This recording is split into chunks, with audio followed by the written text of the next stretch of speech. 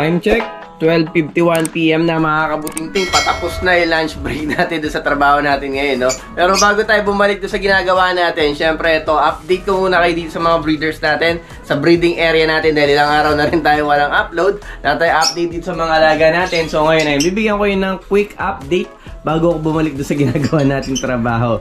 Ayan. So, papakita ko sa inyo yung mga painakay natin ngayon.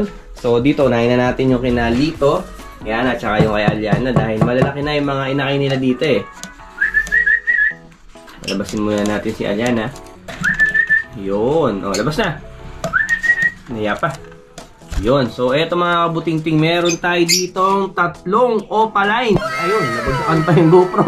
Yan, ilawan natin ha. Ito na ba yung flashlight? Eto. So, ito mga kabuting-ting, meron tayo ditong perfect clutch. Ayan. Oh, isang green opaline. Ayan, oh.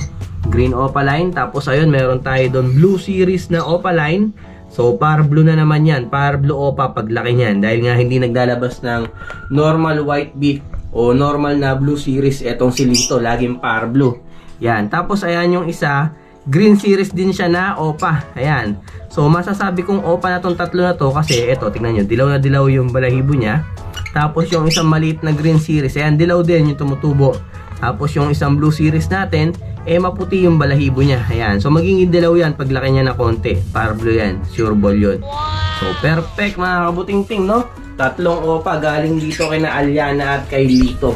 Yan. So, tingnan pa natin yung iba natin mga painakay. Dito naman mga kabuting-ting kina Alwina at Agilus. Ayan. Eh, medyo may bad news tayo dito sa dalawa na to. So, nag-double clutch nga itong mga ibon natin. So, parang hindi yata nalimliman ng maayos yung unang clutch. Isa lang yung napisa. Ito, silipin natin ha. So, isa lang napisa. Ayan, no? Tapos, yung dalawang fertile, eh, hindi na napisa. Kasama yung pina-poster natin sa kanila na itlog ng ating project Opaline Lutino, hindi na rin napisa, na dead on shell na. Yan, so sayang, no? Pero ganun talaga, wala tayong magagawa. Dahil nga nag-double clutch eh. Siguro sa mga susunod na araw, tatanggalin ko na yung mga dead on shell natin dyan na itlog. Hanapin natin na. Saan na ba yung dead on shell natin? Eto, ayan o, dead on shell na to. Yan. At saka, eto, ayan, dead on shell na rin tong isa na to. So, sayang. Pero ganun talaga. Mahalaga itong isa buhay. Ayan. Tapos meron dyan tatlong bagong itlog na fertile. Ayan. Itong tatlo na to. Ayan, di ba? Mga fertile yung mga bagong itlog na yun. So, bawi na lang tayo sa susunod. At saka yung ano nga pala natin dito, yung project natin na Opaline Lutino. Ayan, nasa loob. Eh, nang itlog na ulit. Ayan, no. Noong 24, nang itlog na ulit yung ating mga ibon. Tingnan natin kung ilan na yung mga itlog na yun. Kung nadagdagan na. Yun, yun yung mga ibon natin. Ayan, walang ugad ah. Check natin. Ah, isa pa lang. Ayun, no. Isa pa lang. Pero madadagdagan pa yan. Magapa yung puwet na ating yellow bull dito eh. Ayan, na split ino. O, sara na natin to. Yun. Tapos dito mga kabuting-ting, check na natin ngayong araw kung ilan na ba yung fertile sa mga itlog ng ating project. Pale follow in breeding. Ayun yung dalawa magkapares, yung mag-ama. Yan, check natin kung ilan na yung fertile dito sa kanilang apat na itlog. Uy, namumula na agad yung tinaman ng ilaw. Ito, fertile. Ito, fertile din. Etong isa. Ah, ito clear. Ito, fertile. Ayun, tatlo. 3 over 4 yung fertile sa mga itlog nitong ating mga ibon. So, hindi na masama yun mga kabutingting. Unang clutch pa lang nila yan. Ayan, bilang magkapares. Yung cock natin dyan, eh, proven na nga kasi anak niya mismo yung green na yan. So, sana eh, makachamba agad tayo dyan ng mga visual pale follow ng mga ibon. At saka sana makapagpalabas tayo ng mga OPA pale follow kasi nga, possible split OPA, split pale follow, etong ating violet dito na pinakaunang gift bird sa atin ni Idol Longhair TV. Yan, shoutout tayo kay Sir Bench. Napakagandang ibon. Yan. Tapos yung isang anak niyan, eto nandito, pinapares natin doon sa ating Blue Misty Hen na split pale follow. Pero parang hindi pa sila nagpapares eh. Yan o. Matanda na kasi talaga tong isa na to eh. So dapat ang kapares na ito yung kasing edad niya. So ito magdadalawang taon na o dalawang taon na. Tapos ito isang taon pa lang. Ayan, isang taon ng pagitan.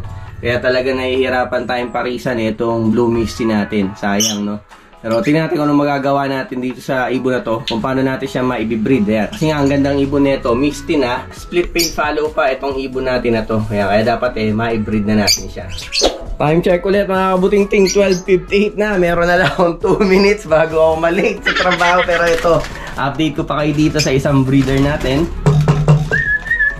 Sa ating Misty Opaline project. Ayan. Ayun yung nag-iisang anak nila. Napakalaki na.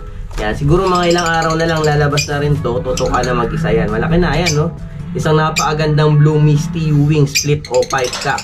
So ito sa dating ng misty nito o sa dating ng kanyang U-wing marking, cock na yan para sa akin mga kabuting-ting. Ayan. Pero hindi siya 100% na sure cock, no? Dahil nga walang DNA test. Yan, malakas lang talaga ako ko pagka ganyan yung mga U-wing marking na nakikita ko, eh talagang lamang sa cock. So, hindi pa naman tayo pumapalya so far. Ayan, buti na lang. So, hindi pa tayo pumapalya. So, ito, Split Opa, Misty, Ewing, napakagandang ibot. Ngayon ko ko, talaga solid na solid. So, Nag-aaral na lumabas, oh. Oh, mukhang lulundag na, ayun, oh. oh. Sige na, labas ka na.